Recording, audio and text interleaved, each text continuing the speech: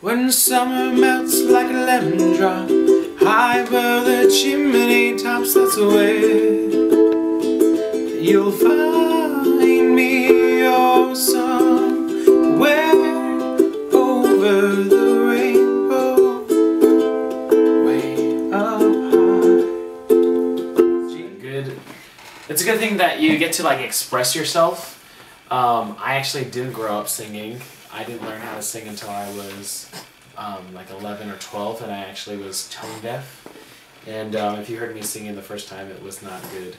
Um, so even now, a lot of people tell me I'm not good, but I uh, I know. I just like to sing. It's it's fun, and uh, it's it's hard. That's one thing that a lot of people don't understand is they think people just go with it, and very few people have that that ability to just sing. But um, as far as like good singing and especially classical singing, which is what I used to do, um, it's it's very time consuming and, and practicing. Uh, it, it's hard. It's it's just like working out. You have to you have to do it daily, and you have to um, you know work on those muscles to expand your range and things like that. I was actually in a band. Uh, that's how I first started playing. Somebody asked me to play band because I knew some chords on the piano to join a band with them. And then um, there wasn't any guy singers, so they asked if I could uh, sing, and I told them no. And so we just started practicing singing, and so that's how I began singing first when I was 13 or 14, around that age. Be motivated to sing. That's a tough question. Uh, I just sing because I like to, and and now I sing honestly to to just glorify God. Like, um, I didn't grow up in a in a sheltered home or anything like that, but I just personally never listened to secular secular music. Um, I just always was listening to worship music just because that's what I was brought up and around, and that's what I knew. And so I, I actually, uh, it's a little frustrating because now we'll even go to karaoke and I don't know any of the songs because they're all secular songs about you know sex and stuff. But um, I just like, uh, I, I just like worship worship songs. They're they're catchy and they, um, I mean, you get to glorify God. So. Bless your church with tongues of fire. Holy Spirit move. Leave no trace of man's desire. Spirit burn right through. Spirit burn.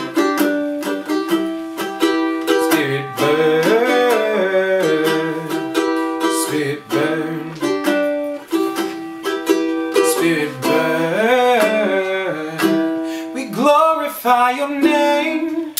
Let your kingdom rule over our hearts. Father, show your face. Let the light of heaven come to us. Bless your church with tongues of fire and Holy Spirit move. Leave no trace of man's desire. Spirit burn right through. Spirit burn.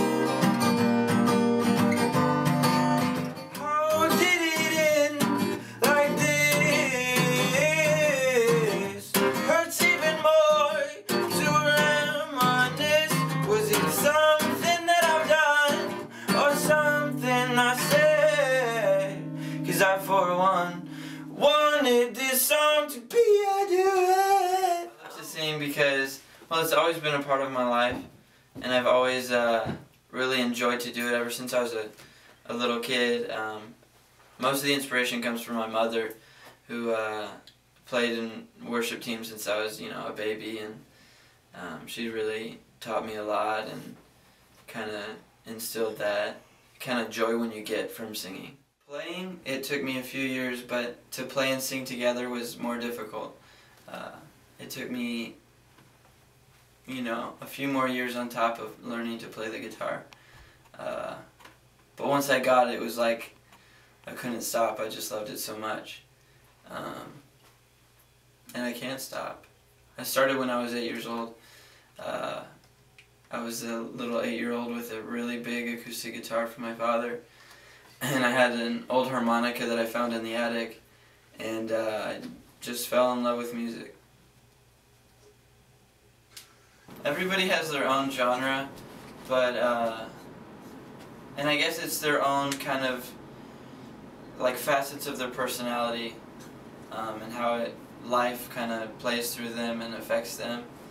Um, my favorite genre of music would be like, I guess, uh, bluesy folks. I like to enjoy it personally and be with friends at a campfire and just sing my own stuff.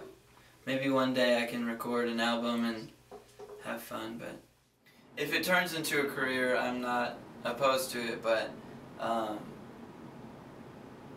no, I don't plan on it becoming a, a career, however, but uh, I guess we'll see. First time I ever played and sang in front of a, a crowd was at my uh, father's church. Um, my mom kind of slowly but surely forced me into uh, playing with the worship team, and I was so afraid and so scared um, that I actually asked her to unplug me right before it happened. And I was accompanying her, and she said, I can't sing with no instruments, it'll sound weird in the PA, and I said, just unplug me, unplug me, unplug me. I was only like 12 years old, and um, she said no, and that push has just guided me, and I freaking, I just love playing in front of people now.